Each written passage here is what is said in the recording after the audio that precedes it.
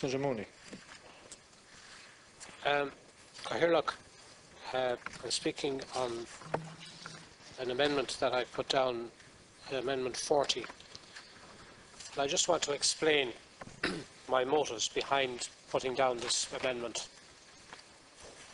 I was uh, motivated by evidence from the United States that in abortion clinics in the United States, in several states, there is a legal obligation that a pregnant woman presenting herself for an abortion is shown a scan of the unborn baby prior to any procedure being carried out. And the evidence indicates, and in fact I'm grateful to Senator Ó Domhnaill, who gave me a statistic uh, based on evidence that in 90% of such cases that the pregnant woman changed her mind and the baby was saved. My only and sole motivation in drafting this particular amendment was in the hope that at the very latest, the latest stage of the process under which Section 9 operates, that a life could be saved, and in fact that the two lives could be saved. That was my sole motivation.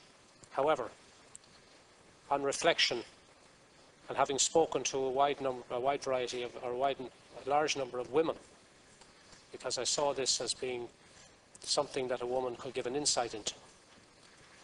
I have no wish, nor was it ever my intention, to inflict any further pain, emotional or psychological pain, on an already distressed, mentally ill, pregnant woman presenting herself uh, at the very final process where she has gone through the, the legal processes, where she has been reviewed and assessed by a team of psychiatrists and an obstetrician, and has arrived at the point of certification and at the institution where the procedure is to be carried out.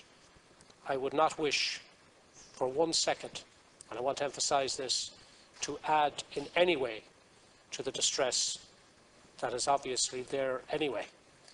And for that reason, I will more than likely be withdrawing this particular amendment. But I wish to put on record my reasons why I drafted it in the first place. Senator Mullen. Margaret uh, Cathaoirleach. Cathaoirleach, this is uh, uh, obviously